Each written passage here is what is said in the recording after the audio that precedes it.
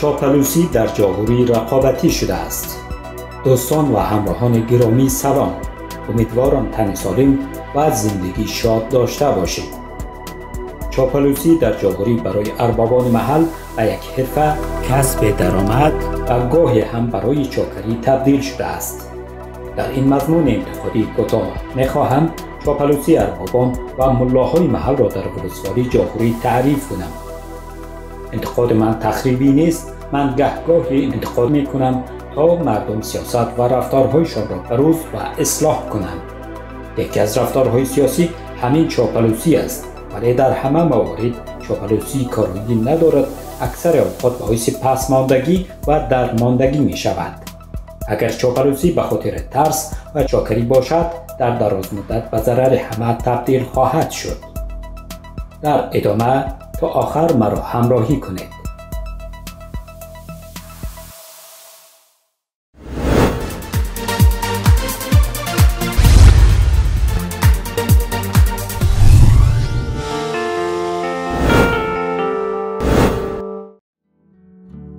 ولسوالی جاهوری در غرب ولایت غزنی موقعیت دارد.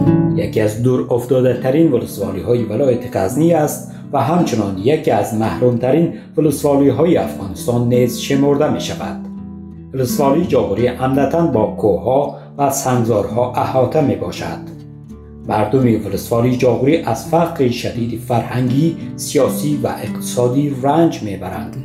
سیاست را عمدتا در این ولسوالی اربابان، ریش سفیدان و ملاهای منطقه پیش می‌برند. اکثر مردم ولسوالی جاهوری فقیر هستند. سطح سواد در این ولسوالی در عمل بسیار پایین است.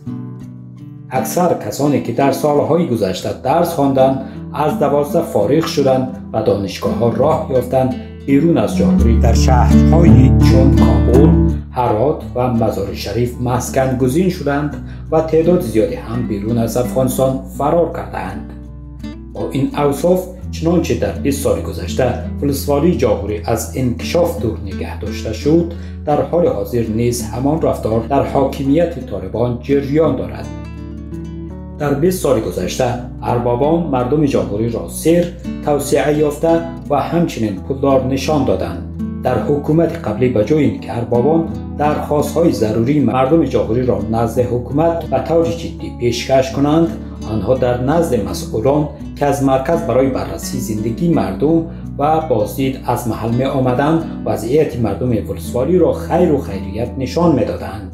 آنها را در شب از یک محل به محل دیگر انتقال می دادند. برقی خانه های مردم را بروخ آنها می کشیدند که گویا مردم ولسوالی جاوری پولدار هستند مناطقشان انکشاف یافته و مردم از سهولت های فراوان برخوردار هستند در حالی که در عصر حاضر برق داشتن خانه های مردم یک امر عادی پیش پا افتاده است هر کس می تواند با مبلغ کمی از برق آفتابی خانه هایشان را روشن کنند ولی اربابان محل برای چاکری و خوشباشی و منافع شخصیشان انکشاف ولسوالی جاغوری را با حکومت سابق قمار زدند و جای انکشاف در ولسوالی مردم محروم نگه داشته شدند. فعلا در حاکمیت خودخوانده طالبان نیز همان آش و همان کاسه در جریان است.